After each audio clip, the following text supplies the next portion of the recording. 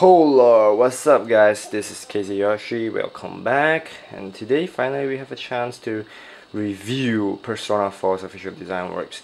I'm really excited about this. I don't know about you, but I'm really excited about this. I said it again just to make sure. And first, as always, I need to unwrap this thing. This is brand new. So, yep, yep. Just find an opening and slowly open the thing.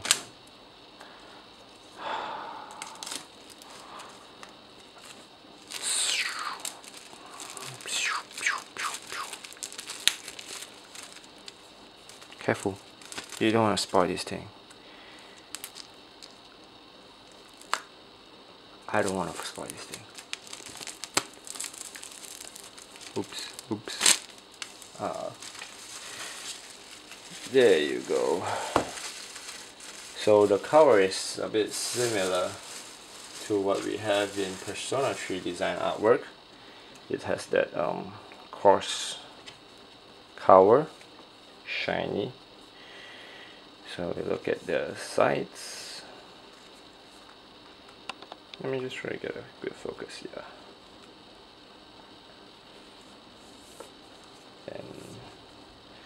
Look at the back. Should design works. So if you want to compare it with Persona 3 I can just simply grab one from my cupboard and voila. Persona 3 and 4 since they're from the same publisher so yeah. From Udon Entertainment so they are almost the same. But they smell different Oh my gosh, is this the damage? Oh my gosh, here's a bit damage.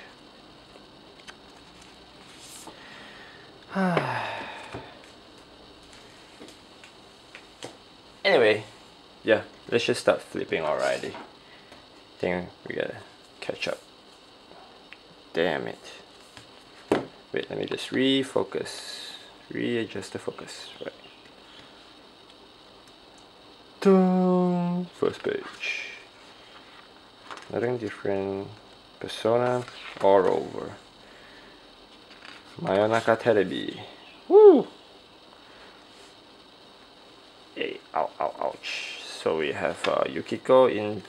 No, this is not Yukiko. This is the the analyzer, the analyst.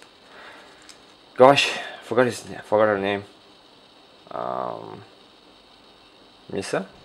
No. Amane? No. I don't know. Um, yeah. So we have Chie here in the yukata. Yeah, here's Amagi. Yukiko Amagi.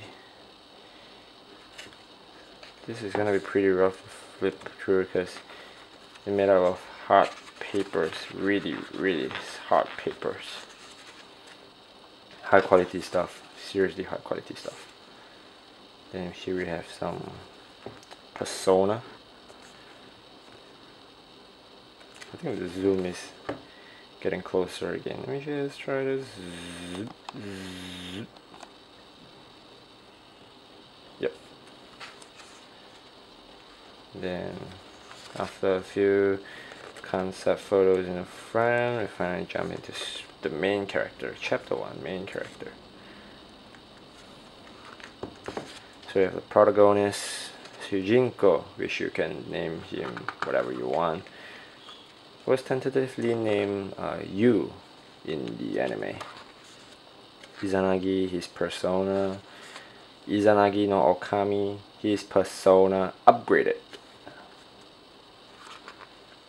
So here are some fine works, fine artworks.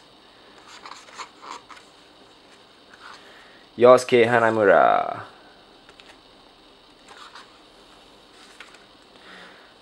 Not as detailed as the Persona 3 design artworks, but gotta give it to them, they're still giving a lot of details, you know.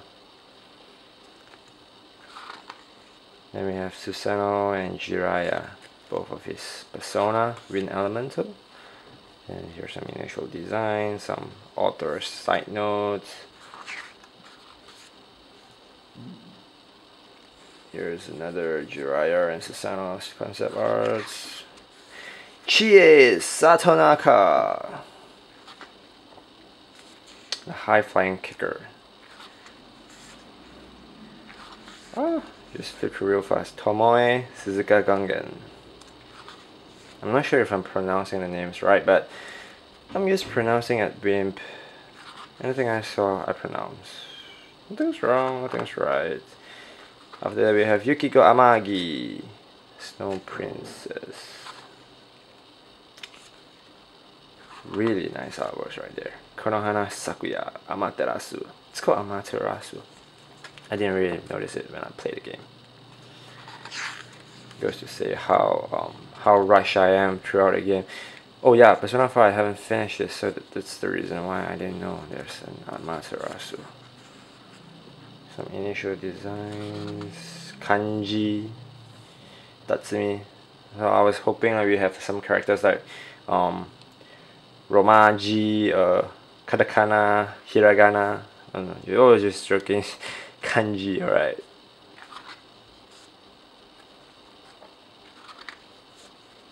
kanji crossplay. It was some wacky moments in Persona 4 and it's really awesome. I really want to play this game. I really want to finish it. Never got the chance to, but anyway. Teddy!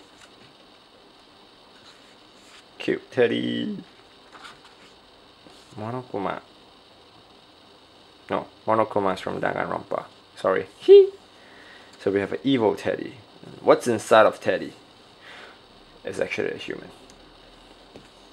So here's Teddy's uh, persona. Whoa, it was so unfair. The other character's got a two-page persona, and he got a one. I mean, he got one in for two pages. The others just shared. Kintoki Doji, maybe because it's big. Kamui. Look at that cute face. Damn. Here's some sketches, some sketches, some sketches all over. Rise, yeah. Her name's Rise. Damn. Rise Kujikawa.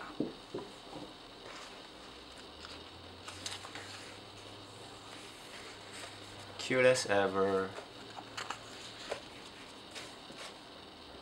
Evil Rise. Actually, it's just the other side of Rise which is evil. So, yeah. Himiko Kanzeon. Then we have some other illustrations. Some early ideas for Rise. Actually, it's quite good. It looks kind of Persona 3-ish though. Although both of them are from the same author, so there's no surprise that it's from. It kind of looks similar. Naoto Shirogane. A young girl detective yeah Ta-da!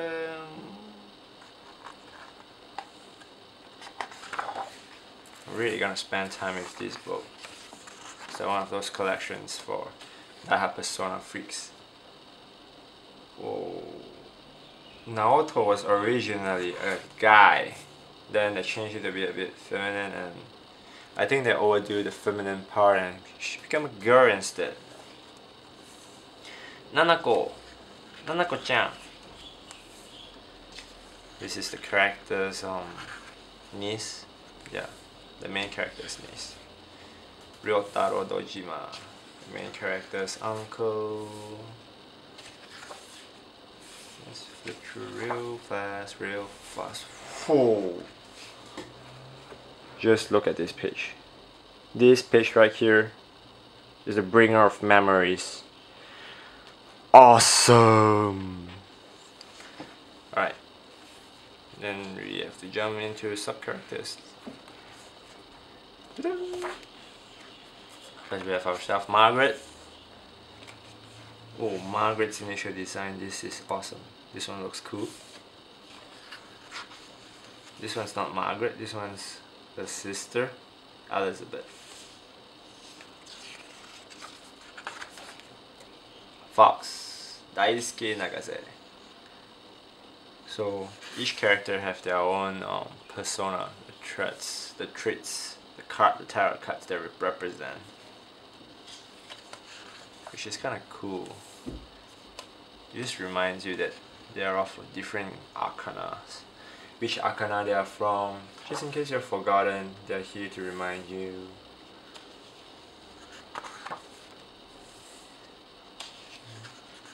Temptress. Ai, Ebihara. There's so many vibrant characters in this series and this is really a fun game to play and I really encourage everyone to play this game. I actually in, introduced this game to every one of my friends, every gamer friends I had. Because it's just that good, you know? It's so full of colors. Mm, yep, that's the end of sub characters. Then we have some shadow action. Some bad guys. Shadow Yukiko, Shadow Kanji, Shadow Rise, Shadow Teddy, Shadow Mitsuo, the Lego, the the mini boss.